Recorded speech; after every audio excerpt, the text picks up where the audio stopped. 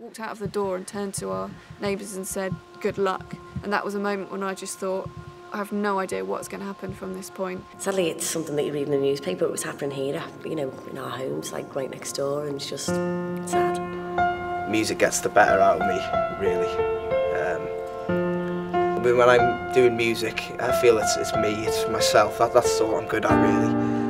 You are going to defend your property. It's a human instinct to defend what is yours, you know, without people coming along who just intentionally, they don't want anything more but to hurt you. By day two, it was just a jolly for the kids to go down. It had lost all the political reasoning. I think we need one big project that will sort of show people that we can work together.